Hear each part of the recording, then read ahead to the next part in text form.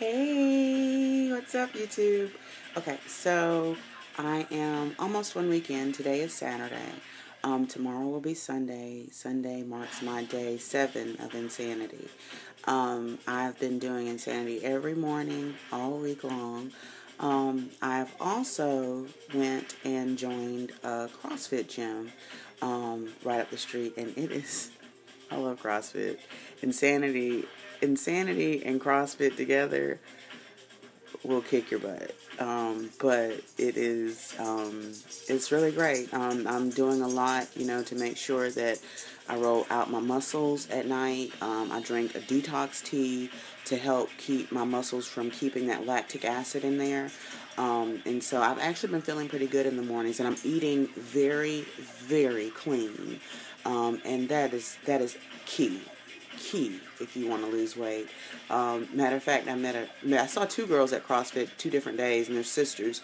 Um, but I talked to the sister last night and I asked her, "How much weight have you lost?" And you know, she's probably about my size, and she was like, "None."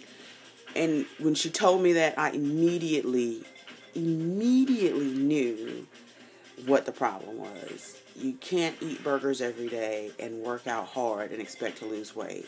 And I'm sorry, but my desire is to F being fat. I want to be skinny. I, I, I just, you know, I, I don't, I'm ready to be the person that I feel like I was meant to be. So, um, thank you so much for coming on this journey with me. Um, I'm getting, I don't know if you can hear the music in the back. Um, getting ready to do Insanity Day 6 now. Yeah, day six, and um, then I'll be going to CrossFit. And so, since I'm um, going to CrossFit this morning, um, and Insanity is this morning, because usually what I do is I'll do Insanity about 5:30, 6 o'clock in the morning, and then I'll do CrossFit at night after I get off from work around 7 in the afternoon. So my body has some rest, some rest time. Um, but today, um, since I'm going, today is Saturday, and so since I'm going straight from Insanity to um, CrossFit, um, I'm going to do the easy Insanity video. Is there an easy Insanity video? Um, so, anyway, that's what I'll be doing this morning.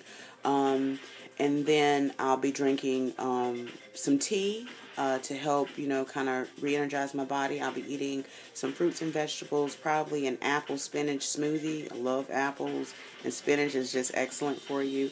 Um, and then I'll be heading on out. Uh, oh, and then the other thing I want to tell you is is that I've been watching videos on Insanity versus Insanity Max 30, and so what I think I'm going to do is I am going to um, switch over, so to speak, because it would be nice to only work out 30 minutes rather than for a whole hour because 5 o'clock in the morning and then work all day, it's just really.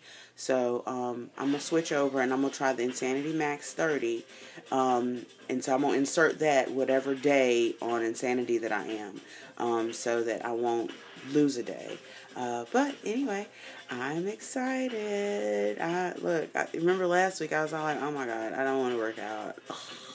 I'm gonna watch this dude on YouTube work out, and then this week, hopefully, everybody's on YouTube watching me work out. So, um, let's just stay fit. I have no idea how much I weigh. I have not weighed in yet.